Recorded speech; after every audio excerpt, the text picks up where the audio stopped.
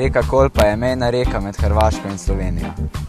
Na desni strani je Hrvaška, na levi strani pa Slovenija. Tukaj poteka šengenska meja. Kaj pa je to šengenska meja? Bomo raziskali.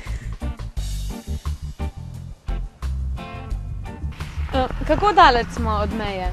No, od Kolpe smo cirka 300 metrov nekje, ne? To je recimo. A ste že kdaj um, videli kakega begunca? Begunca smo videli zelo veliko, moram reči.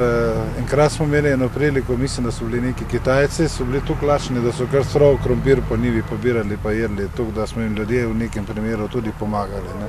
Čeprav so bolj to skupino malo prijeli policaji naši. Ne. tega 1940. leta. V tisto se nekako bolj spominjam, ne, to sem več bil v desetem, devet pa pol, deset let. In eh, tista sajt je bila tista najhuja kriza, je bila zasedba Italijanov. No.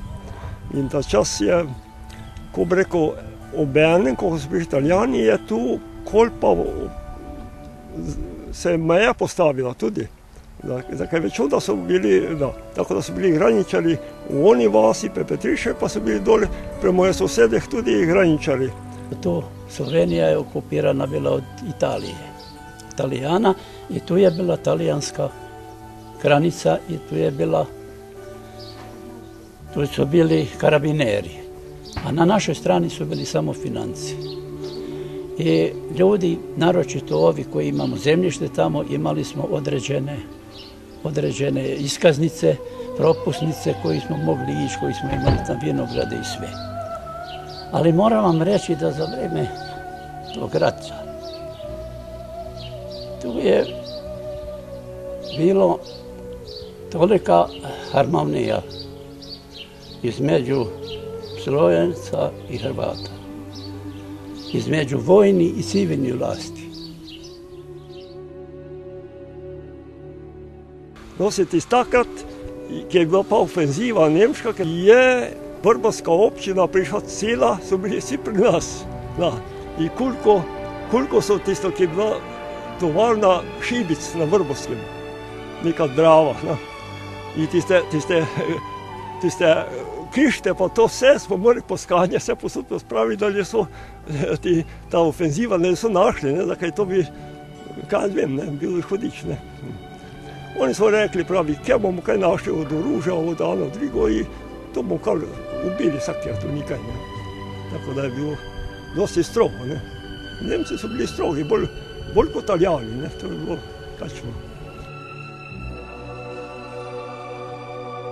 Ovo je područje selo Pribanjci sa više sela ovdje uz Kupu koja gravitiraju prema Sloveniji i sve to sve to tako lepo funkcionira. Šengenska meja je prostor, eh, s- eh, možem pokazati, eh, s jedne i druge strane Kupe, eh, sa lijeve strane se nalazi Republika Slovenija, s desne Republika Hrvatska. Zakaj je današnji dan tako pomemben? Gre za otvoritev mejnega prehoda. eh, To je eden izmed zadnjih mejnih prehodov, ki se eh, odpira na šengenski meji. To pomeni na eh, meji ne samo Slovenije, ampak tudi Evropske unije. Dejstvo je, da Hrvaška sicer vstopa v Evropsko unijo, ampak za zagotovitev šengenske meje morajo biti izpolnjeni še drugi pogoji. Kot naprimer, lahko samo za primer povem Romunije in Bolgarije, ki sta v Evropski uniji že od leta 2008, vendar šengenske meje še do danes nis- niste vzpostavili. To pomeni, da poleg tega, da država stopi v Evropsko unijo, so potrebni še določeni drugi pogoji, da se odpre šengenska meja tudi na njihovo področje. Na mejnem prehodu Vinica se upravlja mejna kontrola, ki je eden od elementov varnosti države in tudi Evrope. Um, a imate tukaj na meji veliko problemov, recimo z begunci, a kaj švercajo, pa to? Eh, Na meji ugotovimo kakšen prekršek, ugotovimo tudi kaznivo dejanje, vendar večjih težav z begunci ni bilo.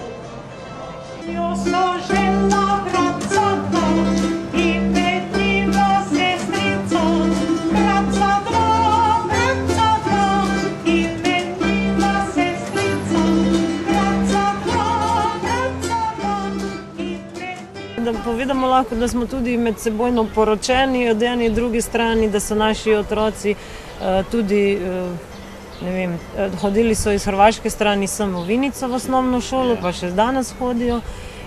Ja, jeziki so pa tudi podobni. To je, mislim, besede posamezne so enake, mogoče se drugače naglašajo. Je noša tudi slična naši tu, kot je naša. Bedino mogoče kakšne spremembe v klobuki. Dobro večer, stara majko, pa to res je in na ono stran.